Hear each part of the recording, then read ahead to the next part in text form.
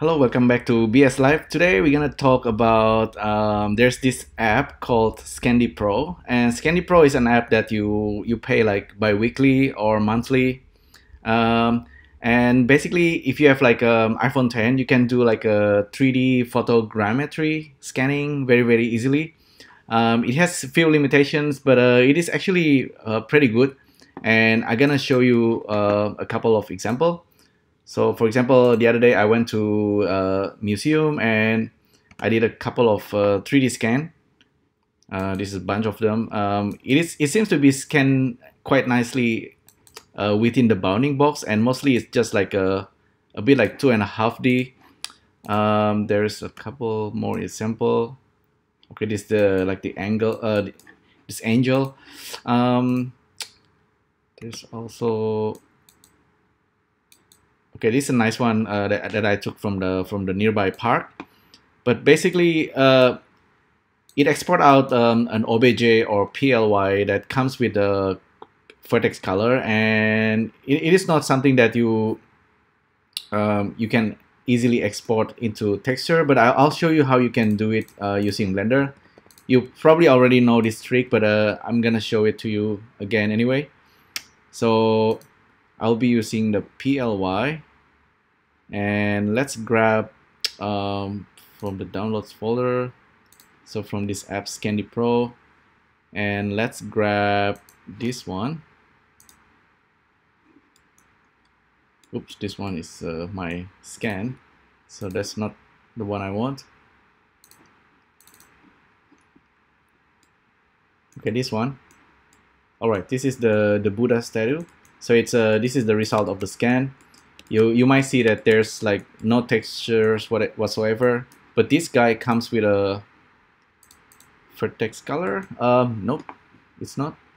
Let me see I think I might be using the wrong blender. Uh, this is 3.6.2 oh that's why. All right 3.6.2 doesn't actually import uh, the PLY properly. Interesting so let me quickly check this, import uh, PLY and go to downloads, Scandy Pro, and this is this one. Hope that's my scan, but anyhow, this one comes with color.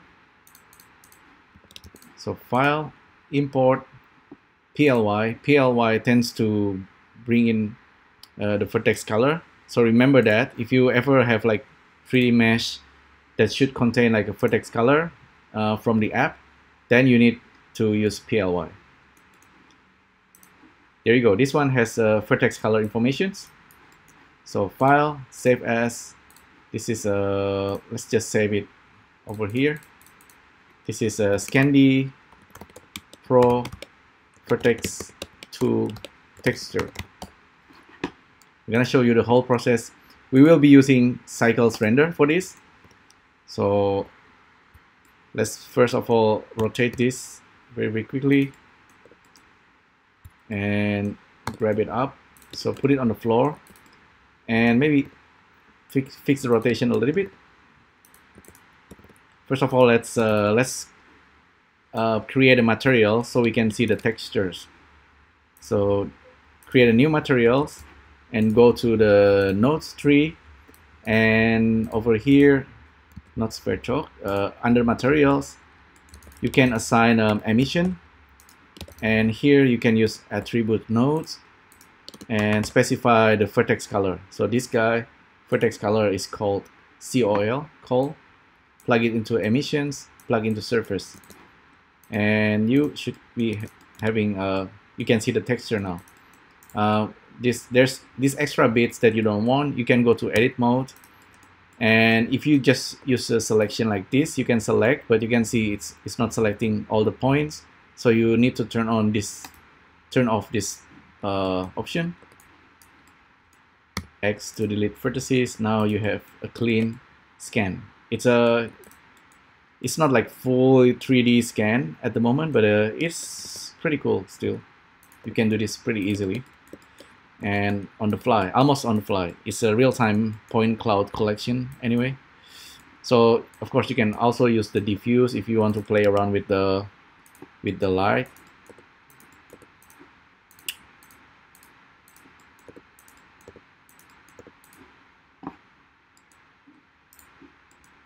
um, yeah this should go there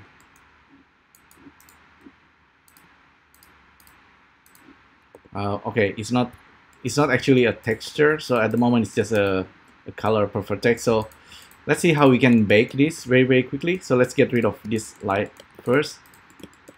Uh, we need to have a UV first. Um, so with this guy selected tap spacebar and just do a smart UV projection. This is gonna take a few seconds uh, because this scan is uh, quite high res hopefully okay not too long. Okay cool. It's done. I'm gonna save the blend. And the process of baking is actually really easy. Once you know it you basically need to have an image textures. So go to UV image textures create a new textures and let's call it scan. And then okay. So this is just blank black color but we can create a new nodes here image texture nodes and selecting our our image.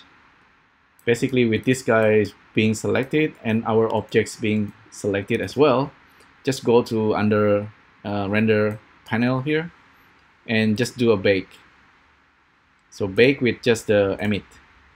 That's all. And you just bake it and then wait a few seconds. This will transfer as a, a proper texture so you can save image as scan and then use it over here. So simply use the diffuse maybe plug it there. And now you can use a proper lamp hopefully. Um, so yeah that's basically the idea. I think maybe I need to use like a principle. Should look a little bit better.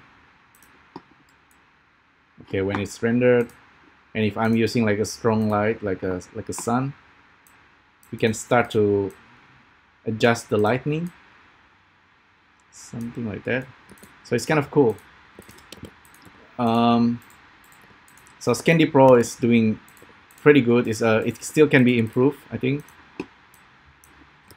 Um, currently, I'm testing the their subscription. Like, uh, I'm paying like a for a weekly. I'm paying around five or yeah, I think around five dollars for a week, and I can use it uh, like unlimited scanning. Um, yeah, but anyhow, these objects now has a proper UV map, and also it has the this uh, texture color ready for you to, to just export it out as OBJ and you can create like um, Apple USDZ for the iOS 12 and you can you can kind of send it to your friend and they can see it as um, AR so there you go. That's how you can use Blender uh, with all this um, app stuff and iPhone 10 to create like a 3D photogrammetry that you can share. Alright hopefully you enjoyed this and I'll see you next time. Thank you. Bye